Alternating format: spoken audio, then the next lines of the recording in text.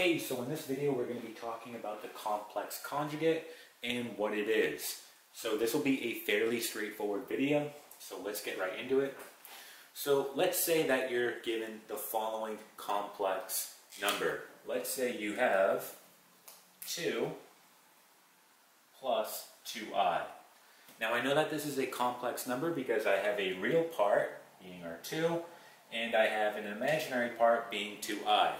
Right, so we know that complex numbers are written as a plus bi.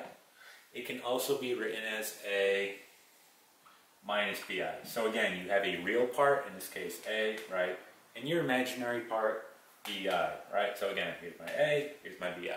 So it's a complex number. So what the complex conjugate is, is simply going to be the opposite.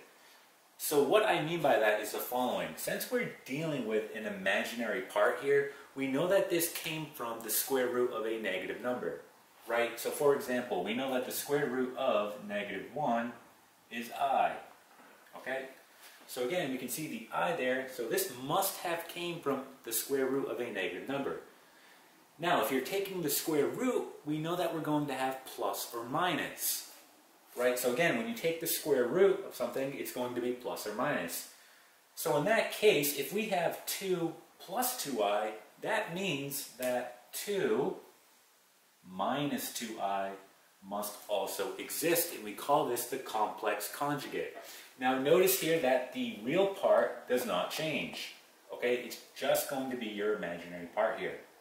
Okay, so that is the complex conjugate. All right, and that is it.